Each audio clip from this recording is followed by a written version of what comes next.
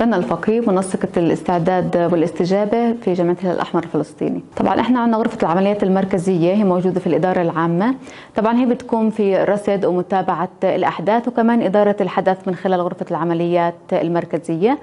حاليا آه، إحنا تم تفعيلها من 7 10 بناء على قرار الدكتور يونس الخطيب آه، كمان غرفة العمليات اللي موجودة في قطاع غزة. جمعية الهلال الأحمر الفلسطيني هي جمعية إنسانية طبعا بتقدم عدة خدمات ومن أهمها خدمة الإسعاف في الطوارئ والخدمة الإغاثية.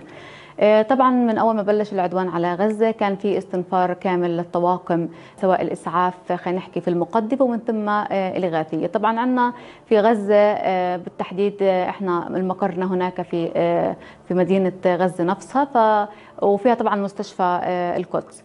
والكل بيعرف إيش كان عندنا مستشفى القدس وكان كمان كمان كان عندنا مركز إيواء موجود النازحين توجهوا له طبعا هلا طواقمنا كلياتها موجودة خارج آه، غزة وشمال غزة. آه، بالتحديد هلا عندنا غرفة العمليات تم نقلها لخان يونس لعنا للفرع اللي هناك متواجد.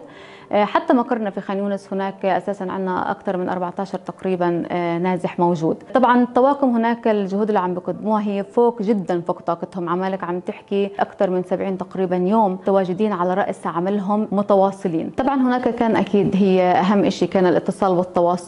خاصة لما ينقطع الاتصال والتواصل ما كان في عندنا أي وسيلة اتصال. حتى وسيلة ال VHF اللي كانت مستخدمة بيننا وبينهم طبعا كانت تشويش كامل واحيانا حجب على الرسائل اللي عم بيتم إرسالها. في الوقت الحالي كمان أكثر من مرة طبعا متكرر في انقطاع تام بالوسائل الاتصال. آه، هون في طبعا في صعوبة إنه إحنا كيف نطمن على الطواقم اللي موجودة كيف الوضع اللي موجودين هم فيه. آه كمان من أحد الصعوبات كانت كمان اللي هي آلية التنسيق. يعني كان في عندنا صعوبة في التنسيق طواقمنا لحتى إنه يدخلوا بعض المناطق اللي كانوا هناك في مناشدات إنه للمواطنين يكونوا مصابين. فهي من أحد كمان الصعوبات والتحديات.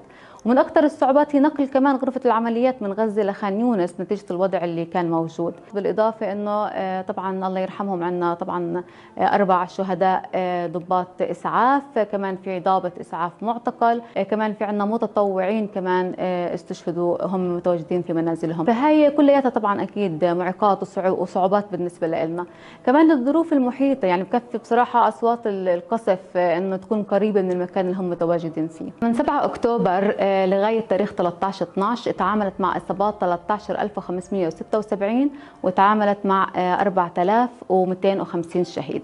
طبعا هذا بس تعاملت معه طواقمنا كهلال أحمر فلسطيني ولكن هو الإحصائية المجمل هي أكثر من هيك بكثير طبعا كتوتال موجود في في غزة. الانتهاكات كانت عددها 37 انتهاك طبعا من ضمنها أنه أربع شهداء من طواقم الهلال الأحمر الفلسطيني. منذ بداية الأحداث لغاية الآن مستمرين طواقمنا في الهلال الأحمر الفلسطيني في قطاع غزة على رأس عملهم بتقديم الخدمة الإنسانية للعائلات المتضررة. جزء كتير كبير من الطواقم اللي موجودة هي فقدت عائلاتهم وأقاربهم بشكل كامل. بالإضافة تم تدمير بيوتهم أصبحت عائلاتهم هم النازحون.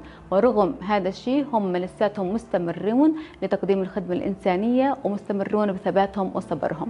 فأنا من هون فكل الاحترام لطواقمنا في الجمعية الأحمر الفلسطيني فترفع لهم القبعة. آه، أنتم أقوياء ونحن أقوياء طبعا بقوتكم.